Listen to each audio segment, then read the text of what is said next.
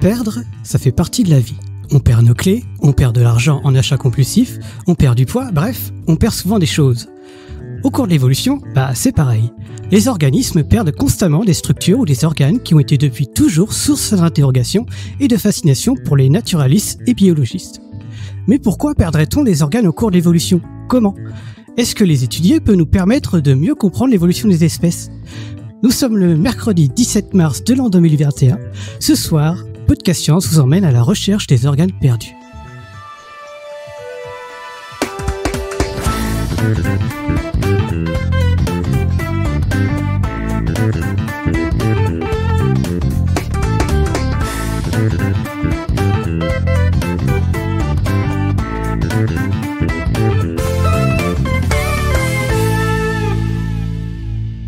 Et ce soir, autour de notre table virtuelle, nous avons Eléa depuis Strasbourg. Bonsoir tout le monde. Topo depuis Paris. Bonsoir. Johan depuis Paris. Salut. Pascal depuis l'Alsace. Salut tout le monde. Moi-même depuis la Normandie et Alexa depuis Los Angeles qui va nous raconter un peu tout ça. Salut tout le monde. Alors effectivement, je vais vous parler euh, de pertes et d'évolution ce soir. Et euh, si je vous parle d'évolution, j'imagine, euh, et de comment les espèces évoluent, j'imagine que vous allez me parler en premier lieu de l'évolution de nouvelles structures, aussi appelées novelties en anglais. Si je vous demande de me citer un exemple d'évolution ou de mécanisme évolutif, j'imagine que vous allez me parler des dinosaures qui étaient très très grands face à d'autres animaux qui sont petits, aux chauves-souris qui volent, à la trompe des éléphants. Bref, d'innovation ou bien de changements assez spectaculaires qui arrivent chez certains animaux.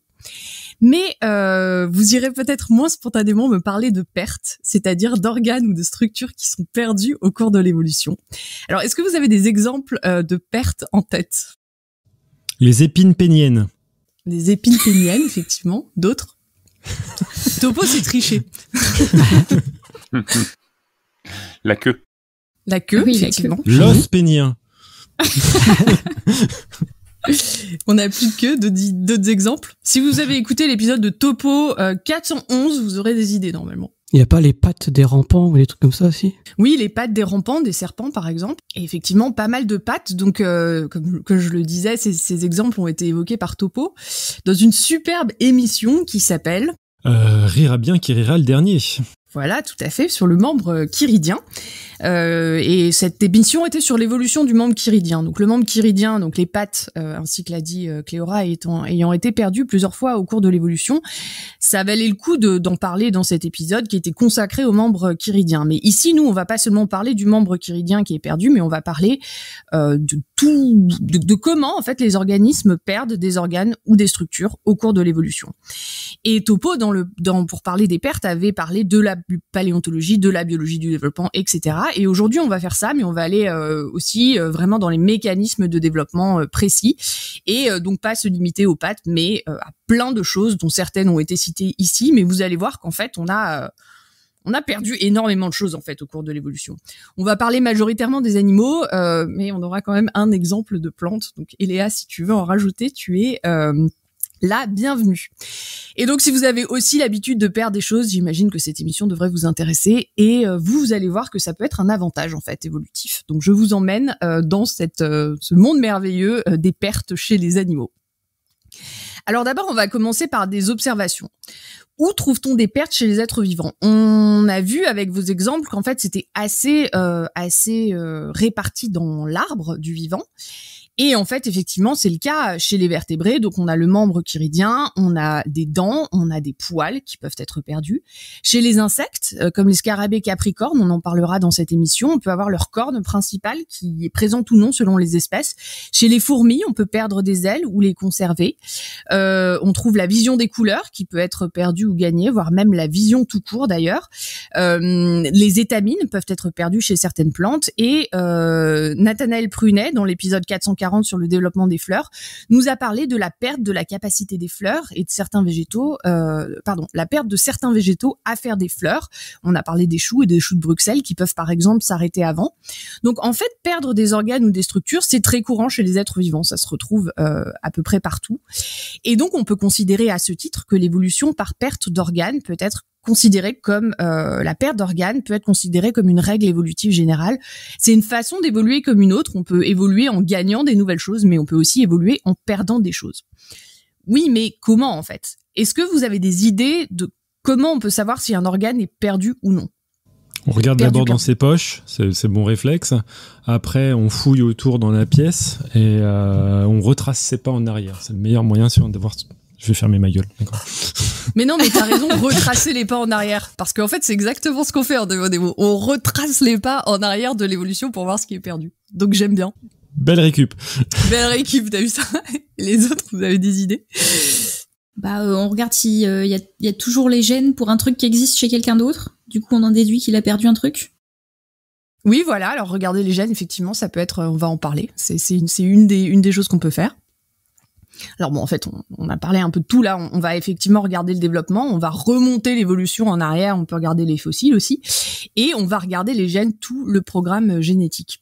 Alors on a Lutine qui nous disait un exemple de perte d'organes, les muscles pour pivoter les oreilles. Euh, alors il me semble qu'il y a des gens qui arrivent à bouger leurs oreilles. Euh, C'est le cas, ouais. Euh, Ouais. c'est- un muscle qui est perdu, mais pas chez l'ensemble de la population euh, humaine. Et donc, il y en a qui peuvent avoir un mouvement.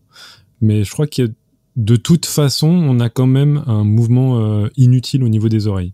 Si j'ai bien compris le, truc. Il y a une, vidéo Vox qui est vraiment pas mal faite que je vais mettre dans la chatroom sur le sujet dans lequel euh, euh, elle recherche justement des caractères vestigiaux. je vais m'en charger. Et en fait, c'est parfait cet exemple euh, puisqu'il nous montre euh, un, concept qu'on va aborder dans, ce, dans cette émission qui est la gradation dans la perte, soit au niveau de la population, des gens conservent le caractère, une partie de la population la conserve, mais une partie la perd, ou alors des espèces proches.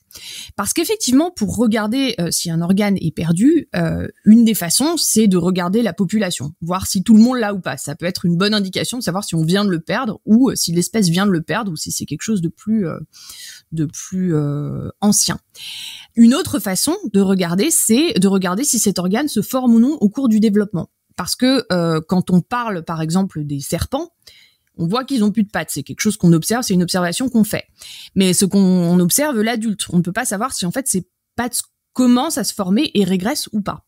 Donc de deux choses l'une, soit l'organe il est complètement perdu et donc il ne se forme jamais. Là, on va parler de perte complète depuis le départ. Il disparaît et on ne retrouve pas de traces. Soit il disparaît progressivement et on va voir qu'en fait rien ne, disparaît d'un claquement de doigts, tout va disparaître progressivement.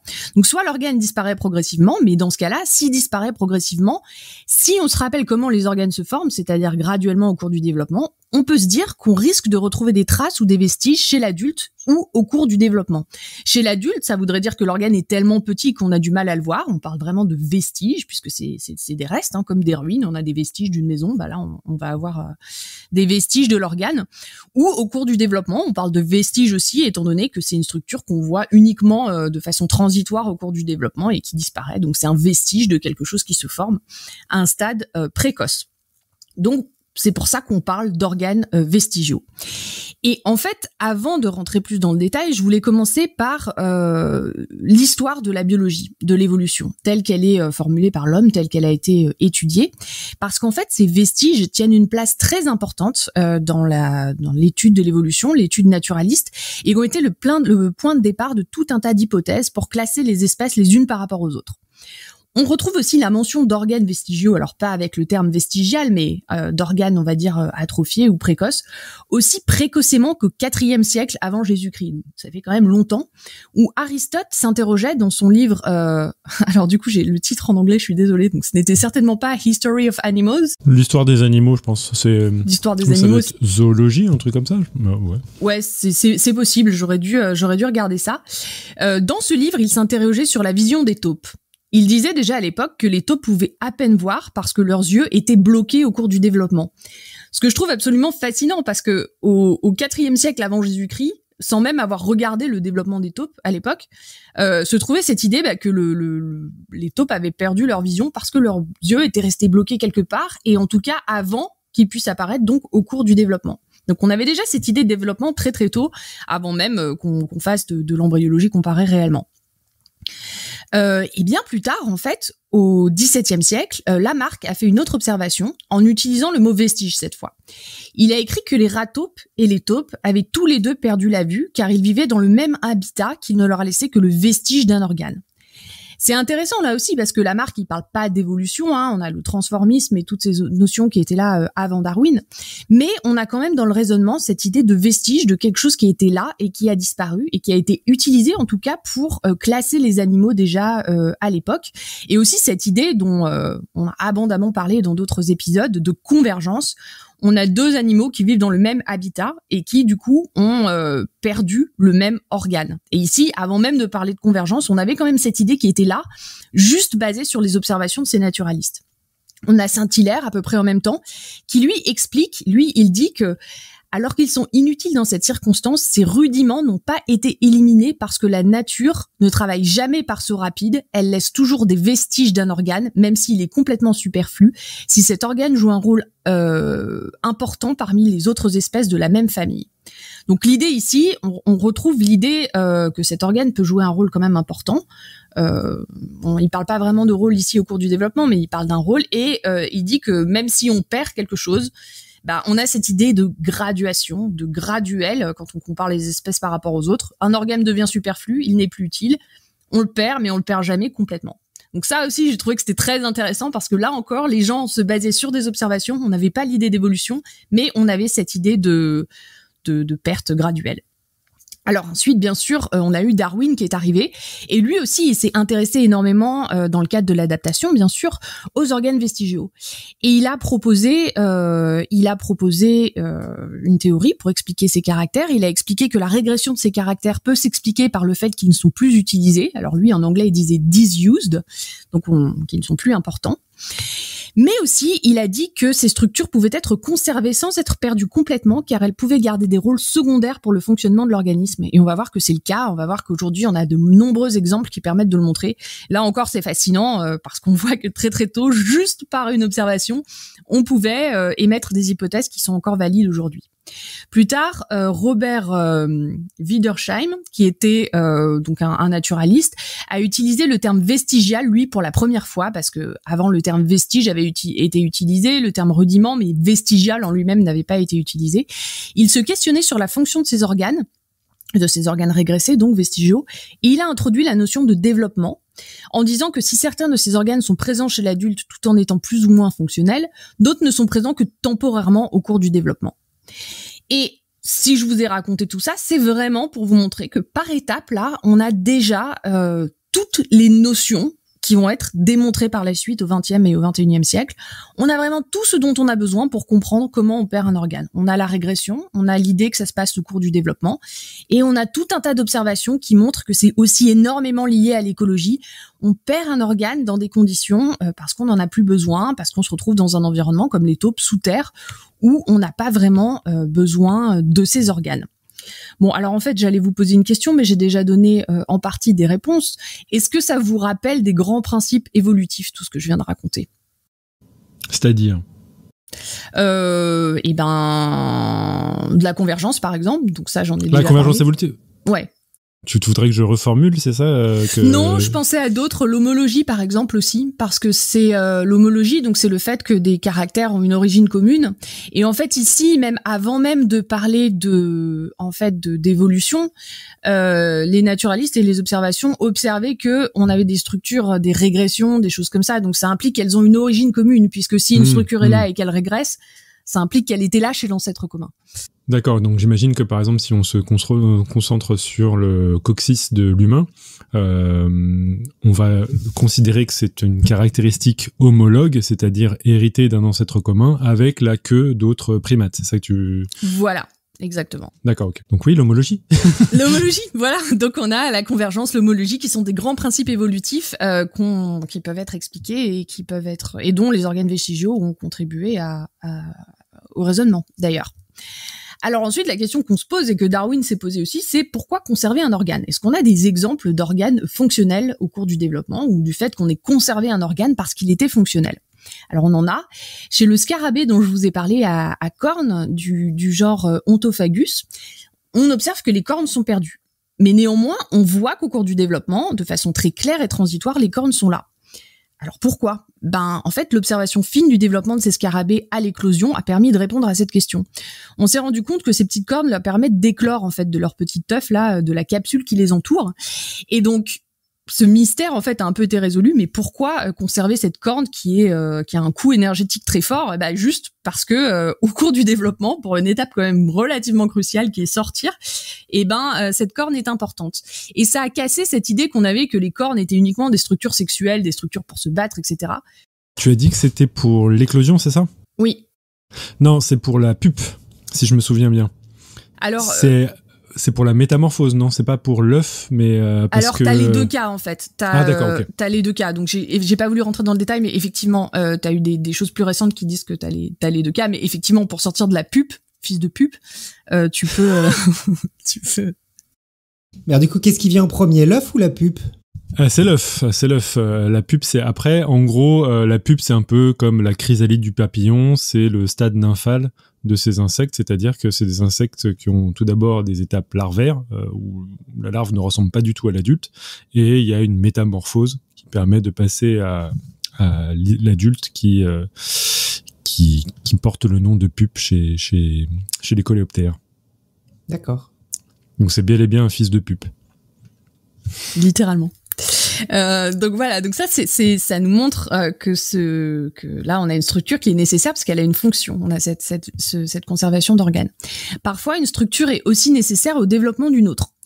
Et là, euh, c'est un exemple que je trouve assez joli. Euh, L'examen du développement des défenses des éléphants montre que le développement de celle-ci n'est pas direct, mais dépend du développement d'une première dent, d'une dent vestigiale qui est appelée la tush. Euh, donc en, anglais, la défense c'est tusk. Et, euh, et donc cet organe avant s'appelle tush, qui euh, se développe, dégénère, mais nécessaire euh, à l'initiation euh, des euh, des défenses. Et ça, on a pu le savoir euh, grâce à, j'ai envie de dire, notre glorieux passé colonial, hein, qui a fait qu'on s'est retrouvé avec des fœtus d'éléphants dans les collections des muséums, ce qui bien sûr n'arrive plus aujourd'hui. Mais comme on a ces fœtus d'éléphants, on a pu les regarder, on a pu les passer au, au micro CT scan, donc au rayon X, et se rendre compte que euh, bah, chez tous ceux qu'on a pu regarder, on a cette euh, cette dent vestigiale qui est nécessaire à, au développement des défenses. Donc ça, c'est un, un exemple qui est assez rigolo et, et joli et rendu possible par les techniques modernes. Ensuite, je voulais parler des poissons cavernicoles. Donc là, je vais en parler rapidement, mais on va en, en parler abondamment dans cet épisode.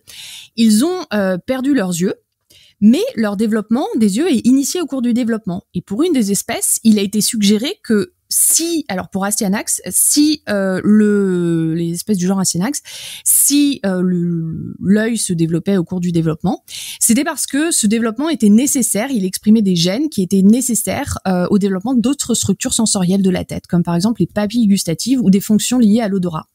Ce qui veut dire que, euh, bah voilà, perdre l'œil en fait chez ce poisson, en fait, euh, c'est pas possible parce que euh, le, le, le- développement d'autres structures dépend du développement de l'œil. Oui, Topo. Euh, bah ça, j'adore cet exemple et je voulais en profiter pour en, en- en parler un tout petit peu parce que c'est un exemple qui est, euh, qui est enseigné à l'heure actuelle. Il paraît que ça a été un sujet du bac genre, il y a un ou deux ans, donc euh, il y a toute une génération d'étudiants qui s'en souvient euh, vivement de ce fameux poisson Astyanax mexicanus. Et là, je suis en train de finir des travaux pratiques dans, dans, à, à l'université où on montre aux étudiants euh, les- les- c- cette espèce. Et il y a quand même quelque chose qui est assez remarquable, c'est que c'est une espèce dans lequel il y a des populations qui sont avec des yeux épigmentés et des populations qui sont euh, dépigmentées. Et le réflexe des étudiants, c'est de dire euh, ceux qui sont dépigmentés, on leur annonce qu'ils ils sont euh, qui vivent dans les cavernes et leur, réflexe c'est de penser un peu comme Darwin à, son époque le, faisait c'est ah bah du coup ils, ils sont dans les cavernes il n'y a pas d'obscurité c'est normal qu'ils perdent leurs yeux Mm. Et en fait, euh, ce que tu ce que tu expliquais, c'est que c'est en fait c'est pas normal parce que c'est pas exactement la raison. C'est pas parce que un, un organe n'est pas utilisé qu'il va être perdu. Ouais, non, mais exactement, c'est c'est un exemple qui est euh, qui est passionnant. Je trouve ça génial que vous puissiez avoir les deux populations d'ailleurs en TP parce que et je, je, justement je je- je- j'en parlerai tout à l'heure. Donc c'est bien parce que t'as as déjà un peu introduit cette idée que en fait ce qui est fascinant chez cet euh, organisme qui est devenu un peu pas un organisme modèle mais c'est un peu quand même enfin c'est pas comme la souris mais on peut faire beaucoup de choses parce qu'on a des populations interfertiles de surface et euh, de cavernes ce qui, euh, si on veut faire de la génétique, est un outil formidable parce que si on veut faire des croisements comme Mendel par exemple à l'époque pour ses petits pois euh, lycéridés là, euh, et ben on, on peut le faire même si on a deux populations qui sont très différentes d'un point de vue euh, phénotypique, hein, puisqu'il y en a une qui est albinos et qui a donc plus de pigmentation et perdu les yeux, et l'autre qui a ses yeux et sa pigmentation. Donc ça permet d'étudier d'un point de vue génétique énormément de choses. Mais on y reviendra euh, tout à l'heure je voulais passer pour cette idée de, de, fonction encore sur un autre exemple que je trouve euh, rigolo et très joli, qui est l'exemple de certaines cases de fourmis. Alors en fait, les fourmis, vous avez sûrement l'idée de la fourmi euh, de base, hein, euh, avec l'ouvrière, la, la, la, puis la reine et le, et le et les mâles. Donc la reine et les mâles étant ailés et les ouvrières n'ayant pas d'ailes. Mais en fait, on a une diversité absolument énorme chez les fourmis. On n'a pas juste que ça, et on a des fourmis avec des d'autres castes en plus qui ont des soldats à large tête et des ouvrières à petite tête. Enfin, on a une diversité qui est énorme. Et chez certaines espèces, donc qui ont des euh, soldats à large, à large tête et des ouvrières à petite tête, euh, c'est donc c'est les soldats et les ouvrières n'ont plus d'ailes puisque les ailes sont réservées aux, aux reproducteurs. Mais par contre, leurs bourgeons d'ailes sont conservés au cours du développement. Et en fait, il a été montré que la présence est nécessaire parce qu'en fait, avoir ce bourgeon d'aile permet de changer la taille, euh, la proportion du, du décor de ces euh, de ces euh, différentes castes. Ce qui veut dire que la différence entre un soldat et une ouvrière, c'est aussi lié à la taille du corps. Les soldats sont beaucoup plus gros et les ouvrières plus petites. Et en fait, avoir ces, ces bourgeons d'aile, ça permet d'ajuster la proportion de soldats et d'ouvrières qui sont nécessaires aux besoins de la colonie.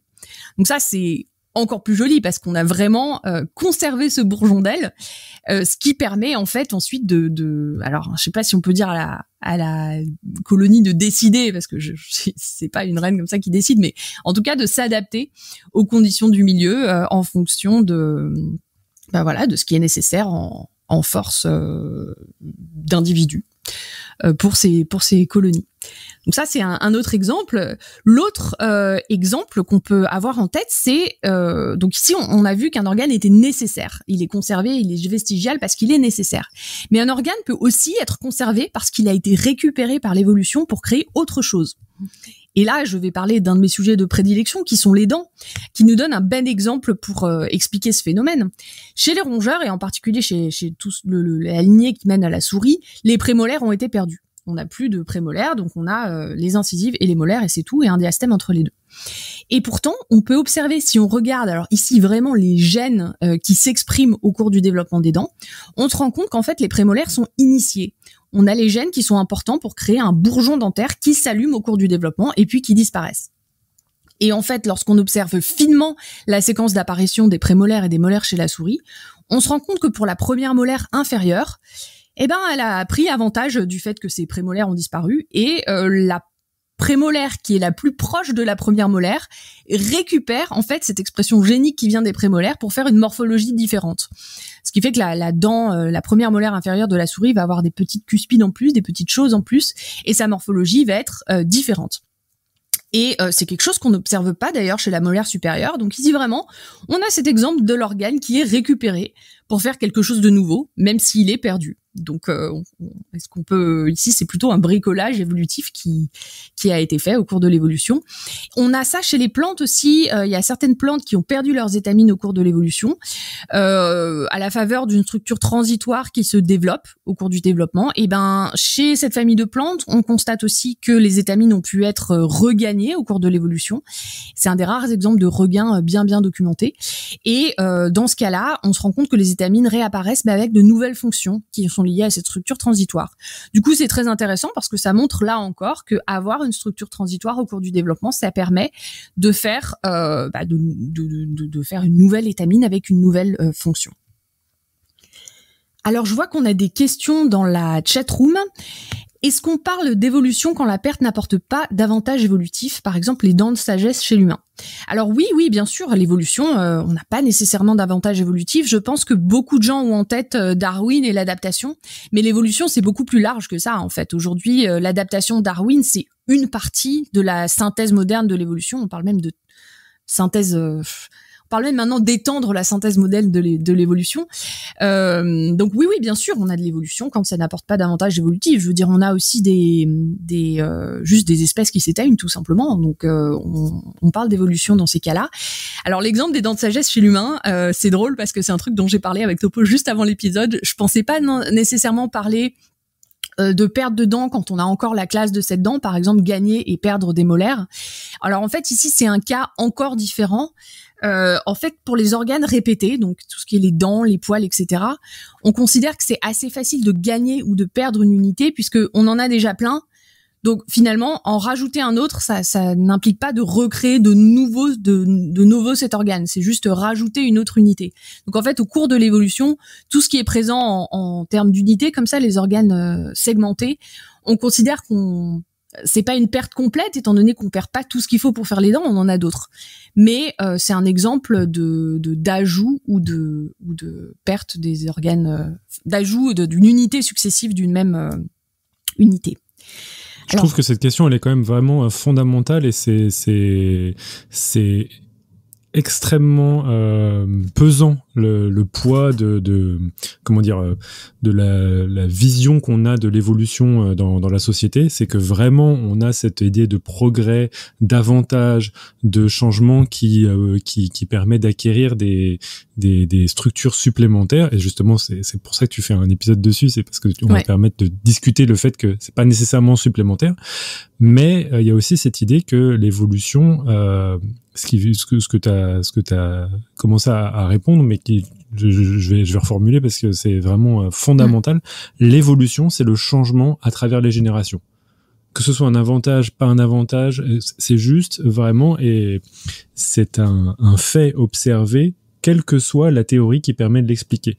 C'est-à-dire qu'en gros, on dit souvent que le, le, Darwin est celui qui a inventé l'évolution, mais c'est pas le, la vraie euh, la, ce qui, ce qui s'est passé. Ce que, ce que Darwin a fait, c'est que parmi ses contemporains, il a observé que les, espèces changeaient au cours du temps et il a proposé un mécanisme qui s'avère en plus n'être pas le seul mécanisme qui amène à ce que les euh, espèces changent au cours des générations.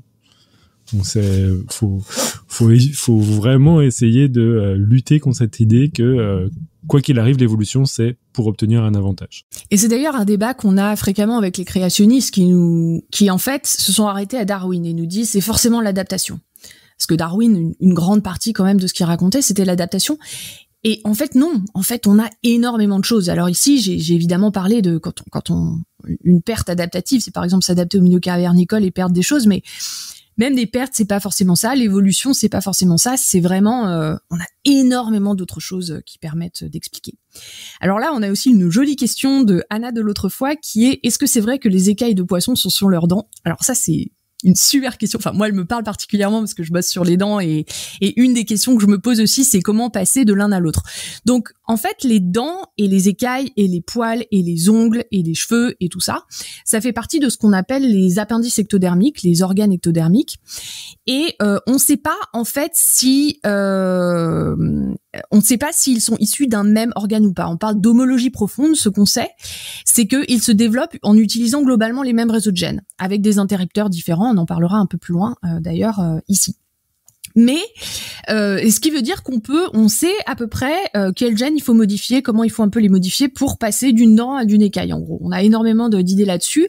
On a d'ailleurs chez le je crois que c'est chez le pigeon que ça a été fait. Il faudrait revérifier. Mais chez donc euh, ils ont des pattes, euh, vous savez, avec des écailles sur les pattes. Mais en fait, il y a des variétés qui ont des plumes à la place des écailles sur les pattes. Et c'est juste parce que c'est assez simple finalement de passer d'une plume qui fait aussi partie de ces organes vestigiaux à une écaille. On change quelques gènes qui sont exprimés et hop, on transforme l'un dans l'autre. Donc euh, voilà, on a cette idée qu'on a peut-être, et c'est d'ailleurs un de mes projets de recherche, un réseau de gènes commun pour tous les appendices ectodermiques. Euh, maintenant, est-ce qu'une écaille c'est une dent? Ben non, parce que c'est euh, c'est un organe qui est différent. Est-ce qu'ils ont une origine commune? Certainement, ils utilisent le même réseau de gènes. Est-ce qu'ils descendent d'un même organe? Ça, on n'a pas assez de détails pour le dire. Alors, je vois qu'on a plein d'autres questions encore aussi. Euh, alors, les mains palmées pour qu'on a pour nager dans le ventre puis qu'on perd. Alors ça c'est pas pour nager dans le ventre qu'on les a, c'est juste un, un le mécanisme du développement des doigts en fait, c'est qu'on a une membrane entre les deux. Cette membrane est gardée chez les chauves-souris par exemple pour le vol, enfin entre les doigts, celle entre les doigts en tout cas. Et euh, on se développe comme ça. On a euh, une membrane palmée, et ensuite on a de l'apoptose euh, entre. Donc ça c'est, on peut considérer que c'est une perte de cette structure. Après vu que la majorité des des des mains euh, se retrouvent sans apoptose. Je sais pas si on peut considérer vraiment que c'est une perte euh, dans ce cas-là. Euh, les moustaches des chats, c'est des poils dans notre nez. Alors pas tout à fait, parce que les moustaches des chats, elles sont reliées à des structures sensorielles. Donc en fait, elles sont très sensitives. Donc c'est un, un, poil différent et l'organe voméronasal. Alors effectivement, euh, il n'est pas présent chez tous. Euh, on a, euh, on n'a pas d'organe voméronasal. Nous, ça a été perdu. On en a chez les chiens. Certaines chauves-souris l'ont, mais pas toutes. et il y a des animaux qui l'ont et qui l'ont pas. Et il me semble que c'est des pertes et qu'il était à l'origine, mais il faudrait revérifier. il faudrait revérifier. Là, je m'avancerai pas sur à quel point c'était présent chez l'ancêtre commun de tout le monde. Euh, en tout cas, à travers bah, vos exemples et ceux que j'ai donnés, on voit aussi qu'on a un rôle pour ces organes euh, vestigiaux. Alors c'est pas toujours le cas. Hein. Là, je vous ai donné des exemples où c'est le cas, mais parfois ils sont simplement perdus. En tout cas, ça montre deux choses. Ça montre que un, perdre un organe, c'est pas simple. Euh, parce qu'il peut être utilisé ailleurs, parce que c'est compliqué quand même de perdre un organe complètement. Et de deux, que l'évolution bricole toujours, puisqu'on a eu ces exemples de bricolage. On peut utiliser un organe perdu pour faire autre chose.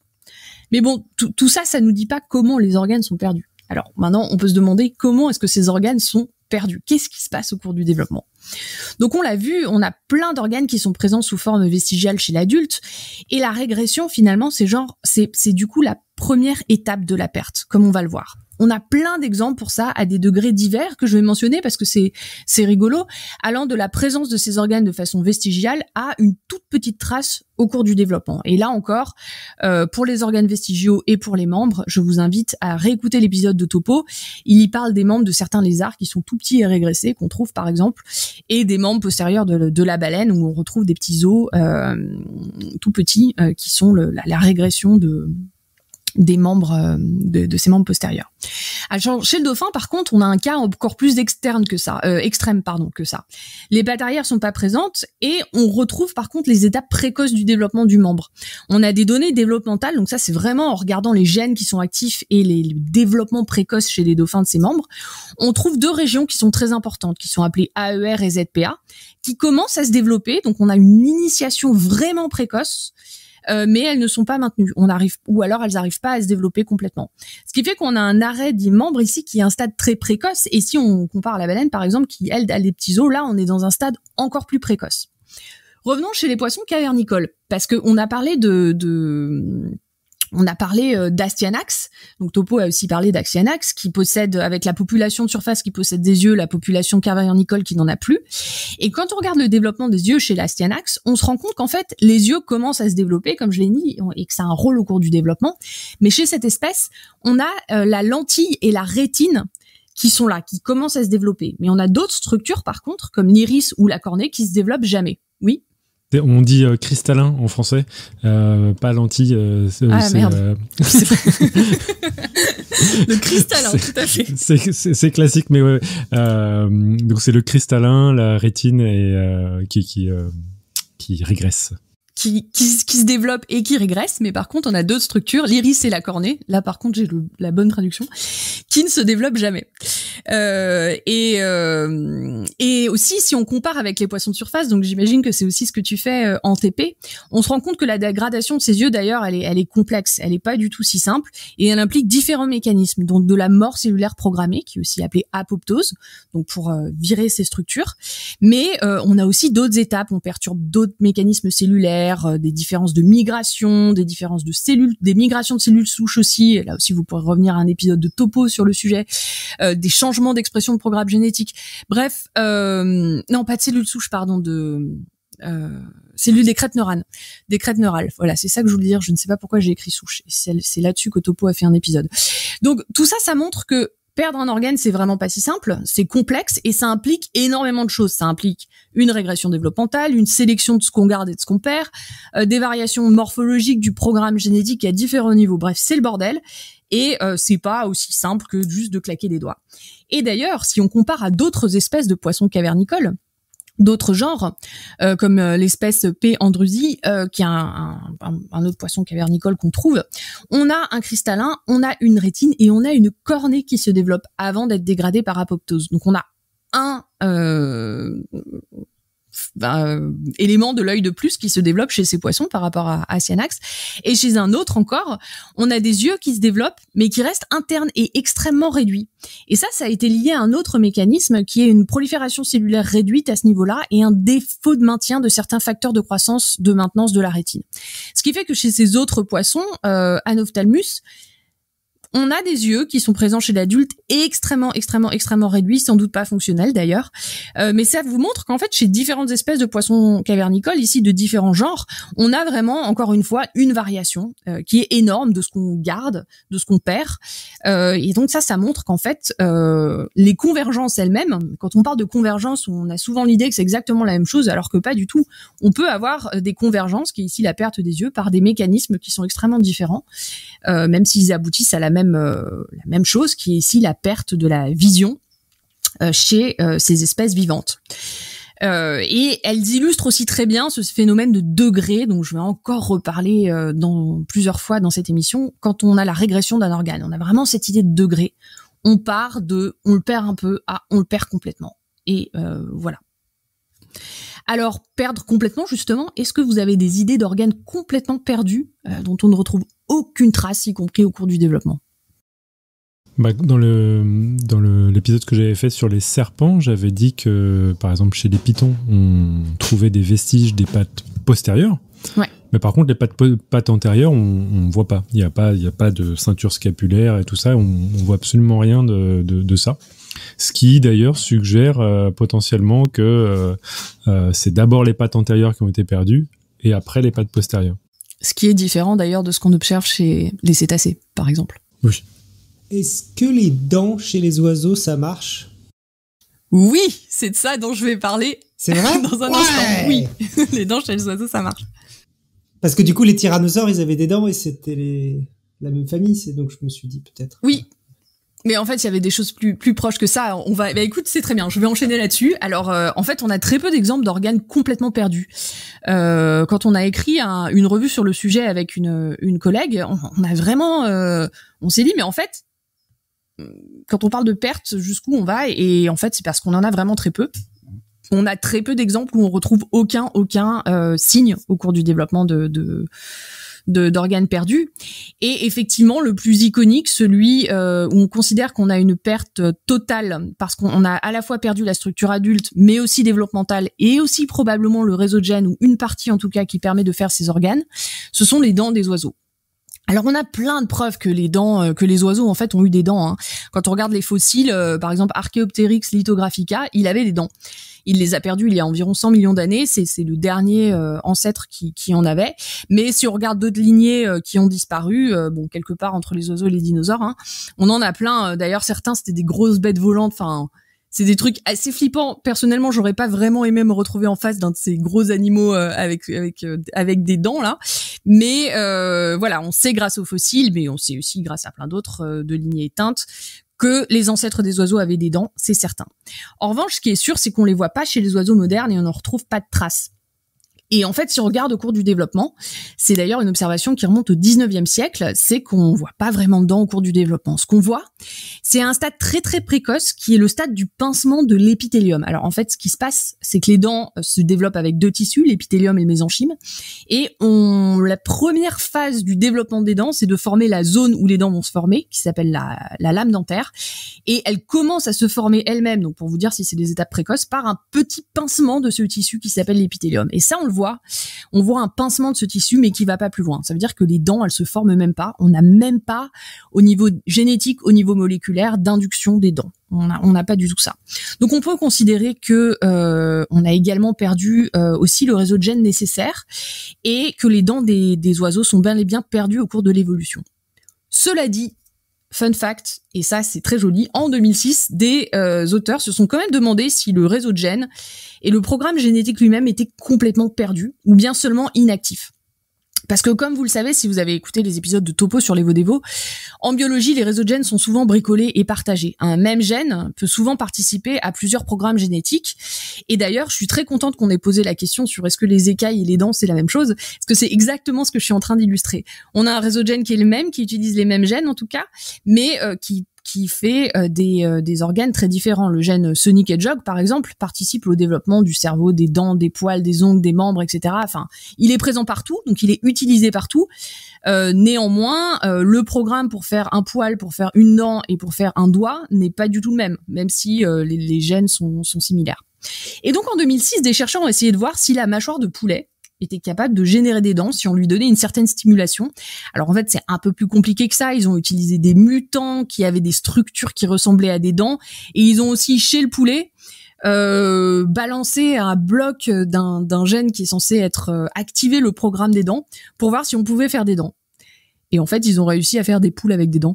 Euh, ils ont réussi à initier, alors pas jusqu'au bout, mais ils ont réussi à initier euh, des, des, dents euh, chez le poulet.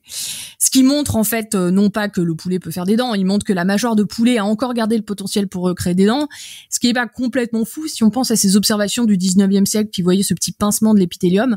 Maintenant, ça va pas au bout et euh, c'est uniquement en modifiant en modifiant quand même le programme génétique. Donc ce qu'on pense, c'est qu'on a toujours ces gènes nécessaires et probablement aussi les interrupteurs de ces gènes qui permettent de d'initier les dents. bon, néanmoins, ça reste quand même ça reste quand même euh, assez euh, assez anecdotique. Hein. Et euh, ce que ça veut dire surtout, c'est ça illustre exactement cette question sur les écailles et les dents, c'est que les réseaux de gènes sont partagés et on peut en réactiver certaines parties en tout cas pour faire les dents. Maintenant, on y reviendra tout à l'heure. En fait, on pourrait pas faire des dents complètes chez les chez les oiseaux parce qu'en fait, on a perdu les gènes terminaux pour faire des dents. Par exemple, pour faire l'émail, pour faire la dentine, etc. On a tous des gènes qui interviennent tout à la fin du développement qui eux ont été perdus. Donc on a toujours une petite partie du programme, mais en fait on a perdu énormément de choses. Donc on peut considérer que cette fois c'est bon. Les dents sont une structure où on a la perte complète. Et on a aussi euh, chez les plantes cette fois euh, la perte des étamines de façon récurrente et chez certains clades de plantes on considère que ces étamines sont réellement complètement perdues aussi. Voilà. Est-ce que vous avez des questions?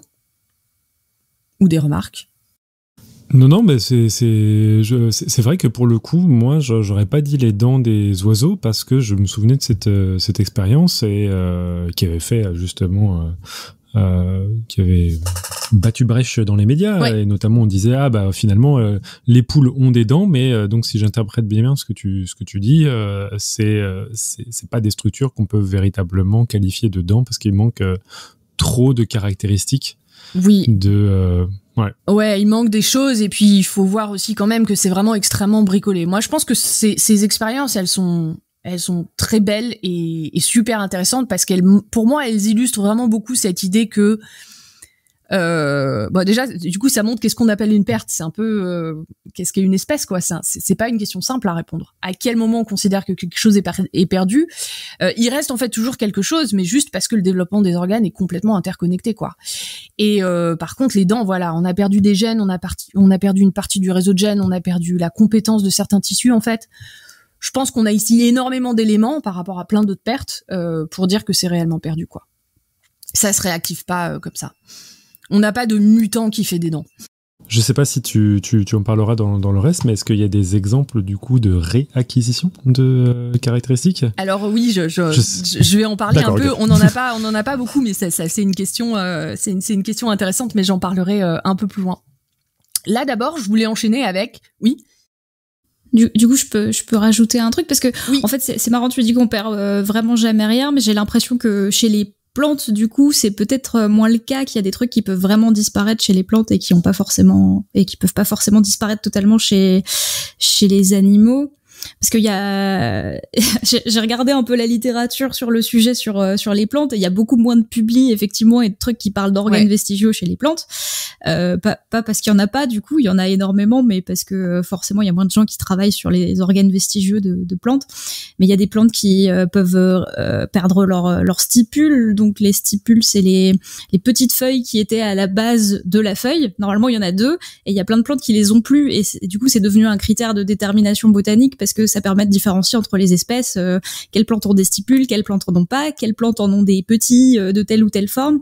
Et il y a plein de d'exemples géniaux où un organe soit a régressé et a même pris une nouvelle fonction, soit a complètement donc complètement disparu. Donc oui, oui, non, mais complètement. Je pense que c'est c'est une, une super remarque que tu dis, et je pense qu'on a typiquement ici l'exemple de de ces cités euh, botaniques euh, dans ça et aussi le fait qu'il y a beaucoup moins d'argent pour étudier ça euh, en recherche hein, puisque l'essentiel de la biologie du développement euh, Banat nous l'expliquait il y a deux semaines une bonne partie a été faite aussi chez Arabidopsis donc maintenant on a d'autres modèles mais forcément ça limite aussi l'étude du développement de la plante à d'autres niveaux. Donc en fait je pense que ce qui se passe pour les plantes et, et effectivement c'est qu'il faudrait voilà regarder plus en détail on a ce biais qu'on n'a pas regardé finalement assez en détail euh, ce qui s'y passait. Je sais pas si tu avais prévu de parler de l'exemple que tu me disais euh, à un moment ou si euh, ou si t'avais pas prévu spécialement d'en parler là du pinstémon. Ouais. Bah vas-y si tu veux. Non mais bah, par exemple il y a cet exemple du pinstémon du coup où euh, ils ont un, leurs étamines donc les parties mâles qui sont complètement atrophiées et donc on appelle ça des staminodes c'est-à-dire que c'est des étamines qui n'ont plus vraiment la fonction d'une étamine parce qu'elles sont plus capables de faire de pollen. Mais par contre elles sont toujours là elles ont des formes euh, différentes en fonction de, de l'espèce et donc elles ont euh, des, des, fonctions différentes. Dans certaines configurations elles empêchent le pollinisateur de venir dans d'autres elles permettent au pollinisateur de venir et il y a des exemples euh, super impressionnants de staminodes qui euh, sont modifiés et qui ressemblent même à des à des pétales quoi. Euh, sur les fleurs de canna par exemple, je peux poster une image dans la dans la chat room. Euh, les pétales sont devenus comme enfin les staminodes du coup qui étaient des anciennes étamines sont vraiment devenus des trucs qui ressemblent à des pétales et on pourrait confondre et et voilà, c'est vraiment très très malléable chez les plantes et c'est hyper intéressant comme étude. Ouais, non, mais c'est super parce que j'avais pas développé euh, à ce point-là, mais effectivement, euh, effectivement, ça complète parfaitement euh, ce que je, ce que j'ai dit et ce que je vais dire sur le sujet, puisque c'est, c'est aussi un bon exemple de regain justement, puisque Topo vient d'en parler. Donc ça, on en parle un, un peu plus tard, mais c'est parfait ce que tu viens de dire parce que ça, ça justement ajoute du contexte, montre que effectivement, on peut avoir des rôles différents qui sont pris par ces organes vestigiaux. Donc c'est encore un bon exemple de, de nouveaux rôles que, qui peuvent acquérir. Et on verra que c'est un rôle aussi dans le regain aussi un peu plus tard. Euh, alors du coup, moléculairement et génétiquement, comment ça se passe? Parce que là, j'ai parlé de ce qu'on voyait au cours du développement, j'ai un petit peu parlé des gènes aussi pour les dents notamment, mais euh, qu'est-ce qu'on peut, qu'est-ce que ça veut dire de perdre un organe? Comment est-ce qu'on fait? Et est-ce qu'on a une recette pour ça? Est-ce qu'on les perd tous pareil? Alors on a déjà vu euh, que non. Et en fait, l'étude d'organismes comme des espèces modèles chez la souris, mais aussi non modèles comme les chauves-souris, les, les différents poissons, etc., nous ont éclairé sur la question et nous ont permis d'associer la perte de la séquence codante. Donc ici, je parle vraiment du, gène et de la protéine qu'il code à euh, une perte, euh, à la perte d'organes ou d'un caractère particulier. Donc on a déjà parlé des poissons cavernicoles et de la perte de vue. Topo a ajouté aussi, et c'était parfait du coup, qu'ils ont perdu leur pigmentation, ils sont albinos, ils sont tout blancs comparés aux, poissons de surface. Et en fait, la perte de ce caractère a été mise en lien avec la perte d'un gène euh, assez précoce dans la chaîne de formation de la mélanine, qui est le gène OK2. Et euh, en fait, en perdant euh, ce gène, on perd la pigmentation chez ces animaux. et du coup, ici, on a vraiment la perte de la séquence codante du gène, pas d'un réseau de gènes, etc. On a vraiment identifié à ça. Alors, on a sans doute aussi d'autres choses qu'on n'a pas identifiées, mais on peut perdre un caractère en perdant un gène précis. Topo, tu voulais rajouter quelque chose là-dessus ou? Non, j'en ai marre de mes TP donc. non, je, je, je déconne. c'est vraiment. Euh, en effet, il y a, y a, toute, euh, toute une génétique qui est faite et euh, qui, qui est autorisée notamment parce qu'on peut faire des croisements entre les pigmentés et les pas pigmentés, ce qui ce qui est pas autorisé quand on veut comparer, bah, par exemple, je sais pas des des espèces d'oiseaux avec euh, leurs plus proches cousins avec des dents, ça on peut pas le faire. Mais là, on a l'opportunité de, de faire de la véritable génétique évolutive euh, avec ce genre d'espèces.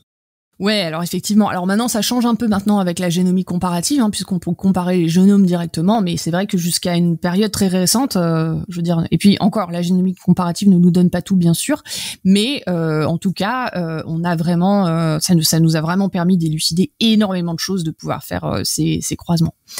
chez les cétacés, on a d'autres structures qui sont perdues. Est-ce que vous avez des idées desquelles? Pensez à un dauphin. Bah, les pattes. ouais, les pattes, alors ça, on en a parlé. Autre chose Il n'y a pas beaucoup de poils sur un dauphin. Les poils, effectivement, les dauphins n'ont pas de, de poils, euh, ils les ont perdus et ça c'est lié à la, au retour au milieu aquatique, en fait, on pense. Ils n'ont pas des petits poils au menton ou un truc comme ça? Ouais, ils, ont, ils en ont pas un peu quand même?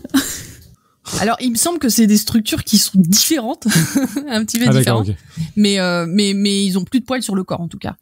Et euh, et ici, euh, on pense que et justement, alors d'ailleurs, on a perdu euh, les gènes associés au développement des poils spécifiquement. On n'a pas perdu le programme en entier. Ici, on parle vraiment juste de gènes. Donc, j'imagine que parce qu'on n'a pas perdu le programme en entier, tu peux en faire d'autres euh, ailleurs euh, qui sont différents, qui n'ont pas la même structure que les poils de, de comment on appelle ça, les poils de couverture.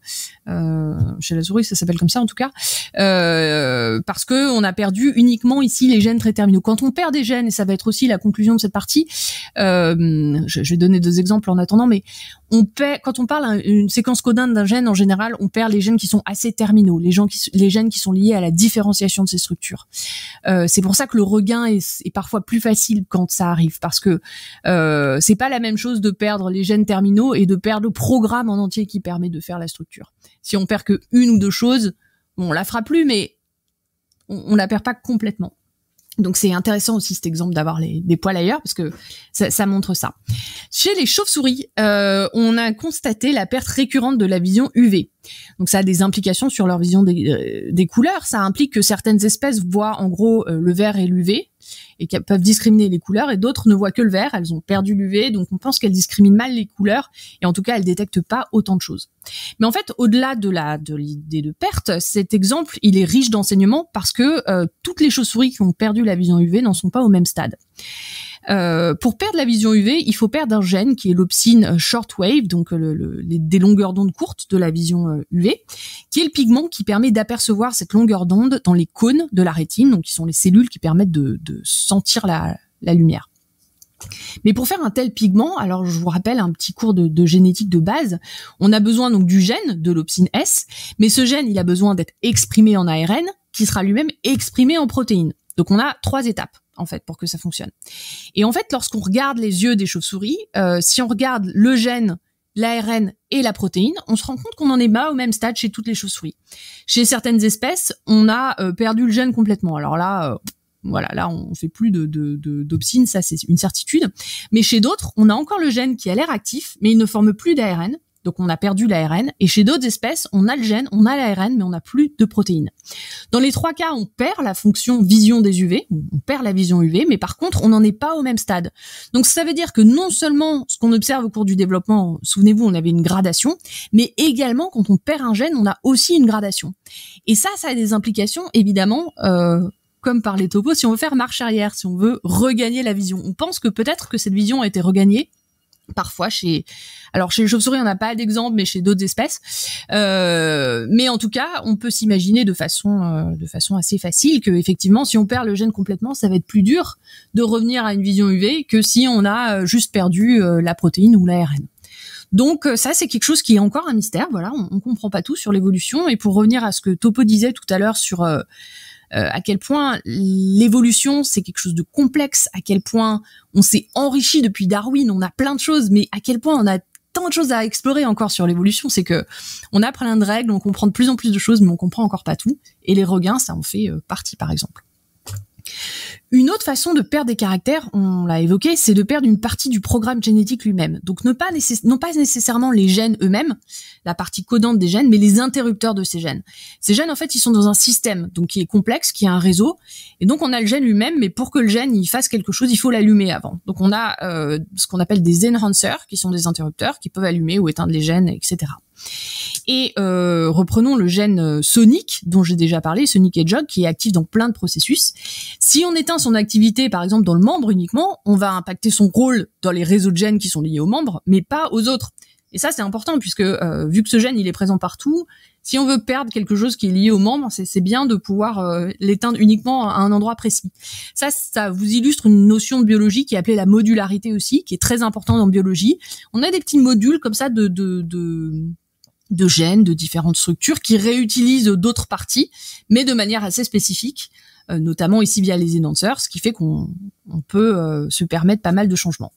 Alors chez les serpents, bah, on en a parlé euh, tout à l'heure, c'est ce qui se passe chez les serpents. On perd par exemple un, un énonceur de, de Sonic et Jog, euh, et dans ce cas-là, on, on, va avoir bah, la, la, perte des membres. Alors Topo, si tu as plus de détails là sur les membres antérieurs ou postérieurs, il me semble que justement l'énonceur est pas forcément le même pour les postérieurs et antérieurs. Pour, pour quelles espèces en fait exactement?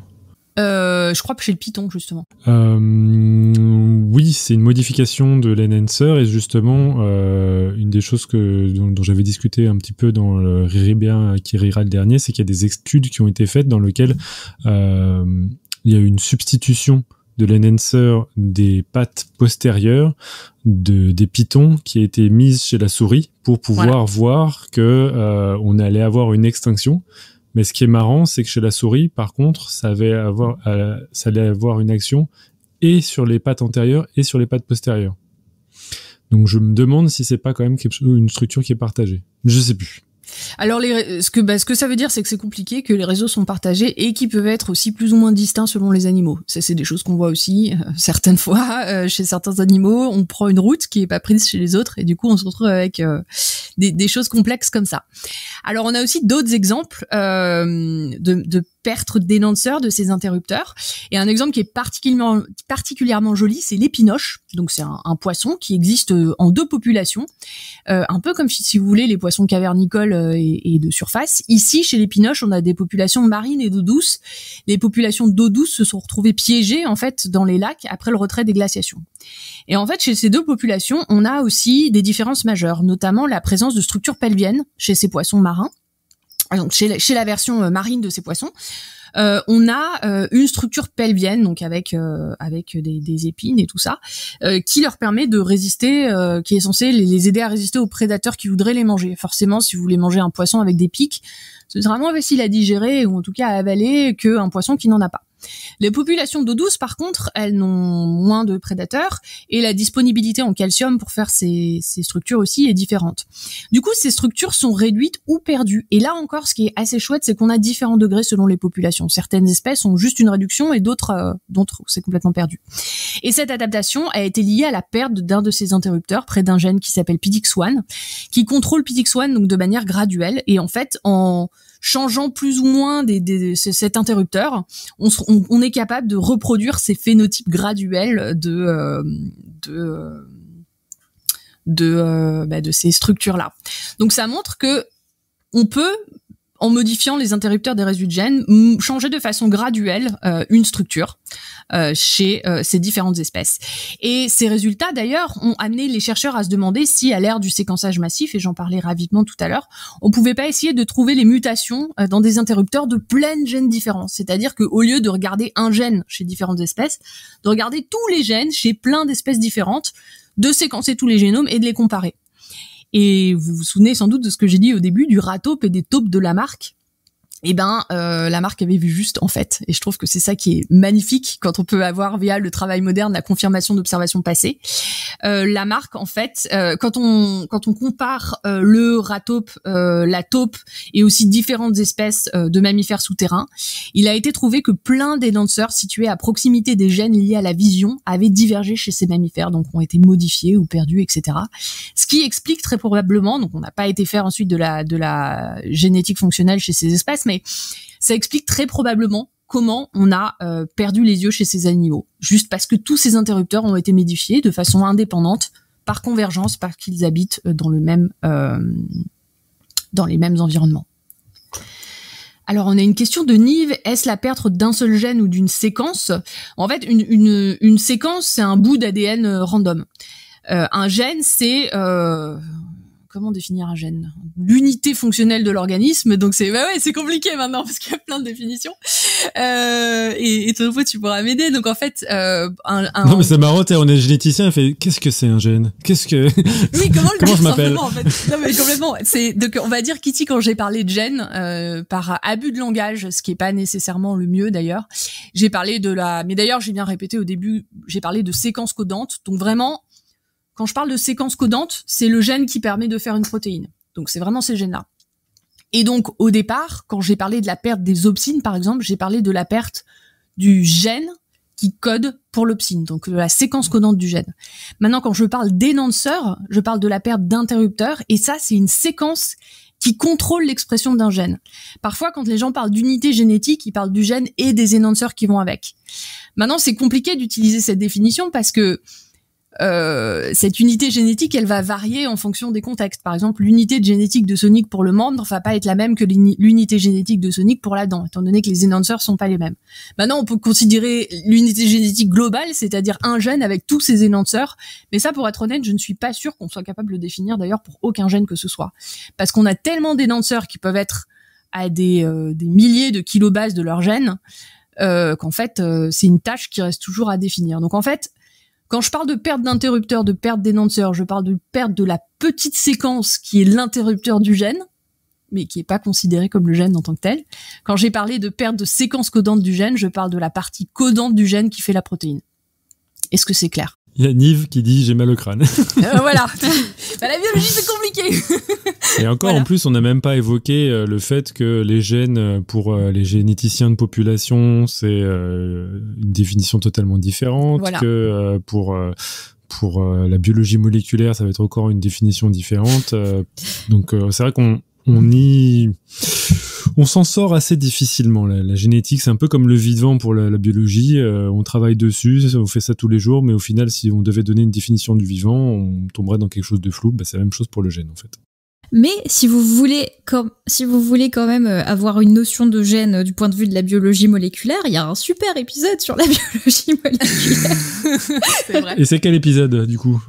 355. Voilà. voilà. Euh, 355 et oui, effectivement, c'est comme la notion d'espèce. Hein. Euh, comment définir une espèce En fait, euh, c'est pas une question qui est simple du tout. Hein. Euh, en fait, on utilise souvent le côté interfertile, mais ça marche pas pour tout. Et bon, je vais pas me lancer là-dedans là parce que ça pourrait être un épisode entier. Mais ça fait partie de ces choses qui ont l'air simples comme ça, mais en fait ne le sont pas du tout. Alors pour finir sur cette euh, partie de comment perdre d'un point de vue euh, voilà génétique, euh, programme développemental, etc. On peut aussi perdre une structure due à la perte du programme génétique en entier, du réseau de gènes entier, ou en tout cas d'une grande partie de ce de ce programme génétique. C'est ce qui s'est passé chez les oiseaux, et donc je vais pas rentrer dans le détail parce qu'on en a en fait déjà parlé tout à l'heure. Mais chez les oiseaux, on a perdu une grande partie du programme génétique. On a perdu bah, sans doute, euh, en tout cas, l'activation du programme génétique au départ, ce qu'on a fait artificiellement avec de la, la bêta-caténine là dans les expériences, euh, en fait, euh, bah, ça c'est plus présent. Donc bon, on a perdu une partie du réseau, on a perdu des gènes terminaux nécessaires à la différenciation, on a perdu des énonceurs, certains circuits d'activation des dents. Donc voilà, contrairement aux pertes d'un énonceur, d'un interrupteur particulier ou d'un gène particulier, quand on perd vraiment beaucoup plus, ça existe et ces pertes sont considérées comme plus profondes plus complexes vu qu'on joue sur tous les niveaux de développement, qu'on joue sur les programmes de développement en eux-mêmes. Et euh, je vais revenir sur cette idée que ça a forcément un impact sur un éventuel retour en arrière. On peut bien sûr imaginer que si la vision UV, par exemple, si on a perdu juste l'ARN, elle peut être regagnée facilement. Si on a perdu tout le programme génétique, c'est quand même vachement plus compliqué. Donc, euh, comprendre les pertes et comment elles fonctionnent, à quel niveau, les gènes, le développement, etc., c'est très important si on veut comprendre l'évolution des espèces et euh, en fait proposer des hypothèses sur euh, bah, la réévolution ou l'évolution ou notre compréhension de l'évolution euh, plus profonde. Alors on a une autre question de Anna de l'autre fois. Déplacer les narines topologiquement au sens des maths à la Robin, ça semble facile. Perdre un organe, ça semble encore plus simple. Gagner un organe, ça me semble plus compliqué. Est-ce qu'on peut quantifier ces différences d'un point de vue mathématique? Peut-être en comptant le nombre de modifications moyennes des bases de l'ADN dans chaque cas. Alors on adorerait pouvoir faire ça. Alors effectivement, gagner un organe, ça semble plus compliqué. Alors effectivement, le, en fait, on a tout un champ de la biologie évolutive qui s'appelle euh, les novelties, donc les nouveautés, qui sont l'acquisition de nouvelles structures. C'est par exemple la membrane entre les pattes et les, et les doigts des chauves-souris. Donc pas, pas la membrane entre les doigts, hein, la membrane entre le, la main et, et le pied. Ça, on considère que c'est une nouvelle structure. On a euh, certains des, vous savez, les yeux sur les oreilles des papillons là, enfin les, les, les spots, les, les ronds. On considère aussi que c'est des, des novelties. On, on, a, on a tout un tas de structures comme ça qui sont considérées comme des nouveautés. Euh, Est-ce que c'est plus compliqué d'en avoir? Alors, c'est une question qui il est difficile d'y répondre. Peut-être que oui. Ce qui semble être le cas euh, à travers l'étude des nouveautés, en tout cas, c'est que ça utilise aussi des choses qui sont déjà existantes. Donc on a du bricolage, euh, là aussi, de réseaux de gènes, de choses déjà existantes pour faire des nouvelles euh, structures. Et euh, les quantifier d'un point de vue mathématique, bah, on aimerait bien faire ça effectivement parce que s'il suffisait de regarder les génomes et de compter les bases ADN, on, on adorerait faire ça. En fait, euh, la la réponse, euh, bah, c'est que c'est compliqué. Euh, c'est compliqué. Euh, il y a beaucoup euh, de modifications à plein de niveaux de l'ADN, à plein de niveaux d'organisation, et on peut pas le faire. Mais peut-être qu'un jour on pourra. Je pense qu'on peut quand même estimer la probabilité que, par exemple, une, une mutation interrompe la production d'une protéine et euh, entraîne la, la disparition d'un caractère. Ça, ça va pas pouvoir s'appliquer pour n'importe quelle perte, mais je pense que par exemple pour l'albinisme, oui. c'est quelque chose pour lequel on peut se rendre compte de euh, la, la fréquence assez élevé de différentes manières de perdre la production de euh, la capacité de produire de la mélanine et donc d'avoir une, une, peau pigmentée. Tu vois ce que je veux dire? Ouais.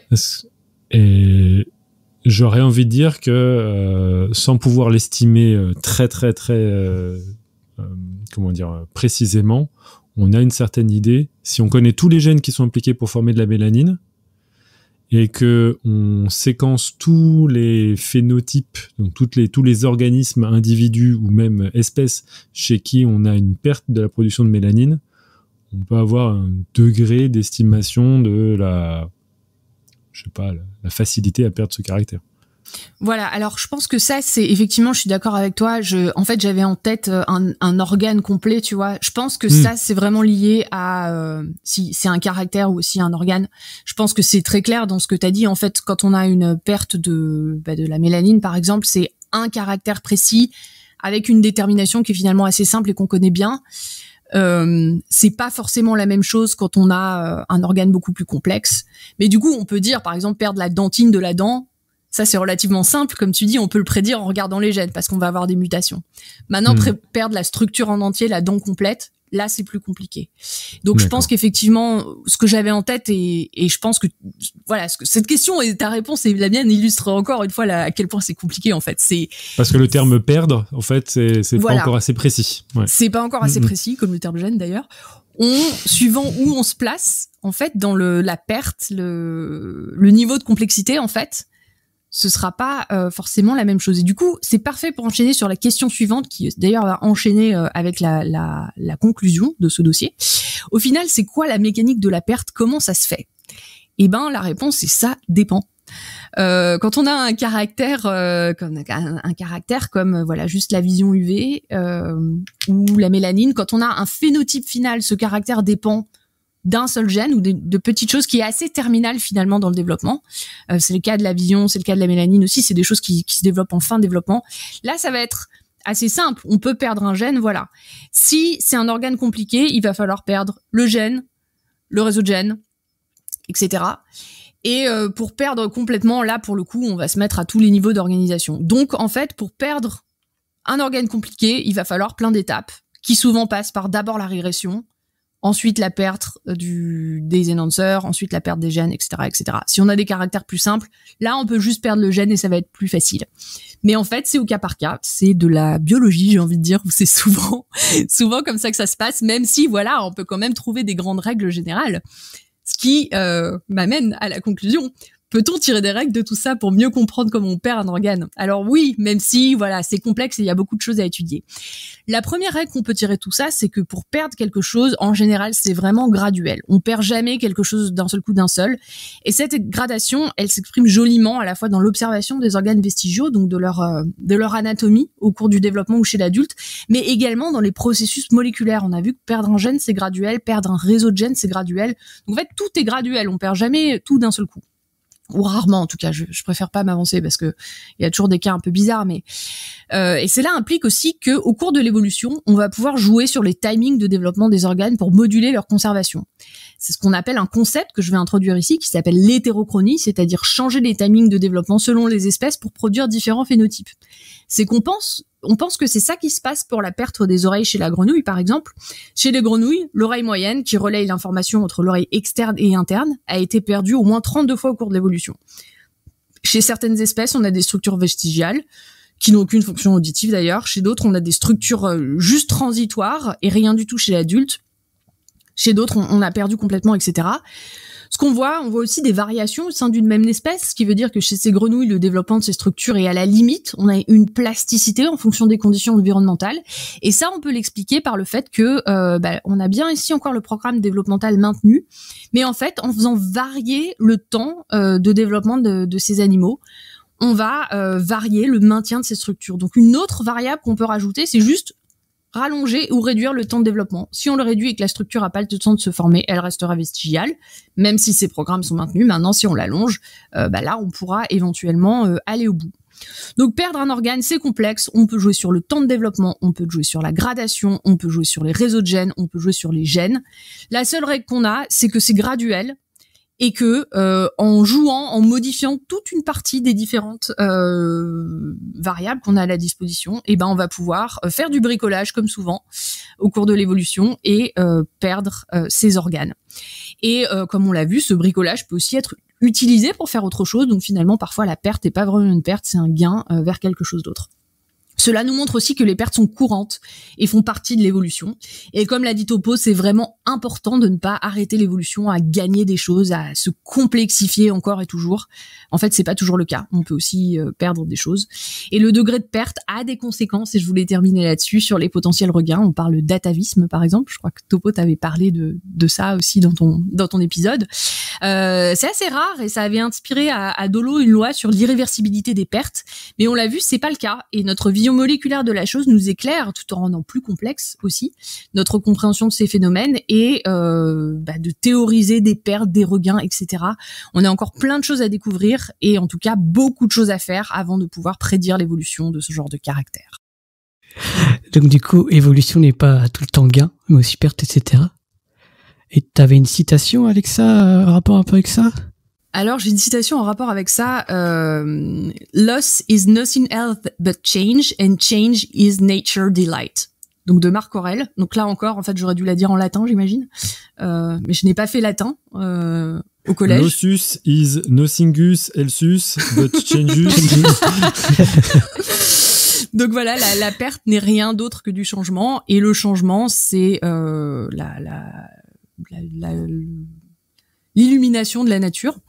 Euh, voilà. Donc c'est euh, j'aime bien cette citation parce que je trouve qu'elle colle parfaitement bien à ce à ce à cette, ce dossier.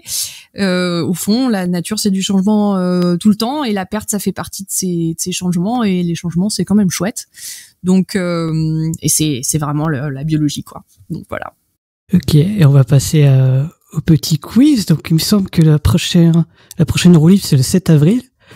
Léa, je te laisse faire le quiz mais tout à fait, puisque on parle de perte, c'est parfait, c'est dans le sujet. Euh, le quiz du moment, c'est boire sur une urine est bon pour la santé, info ou intox. Voilà.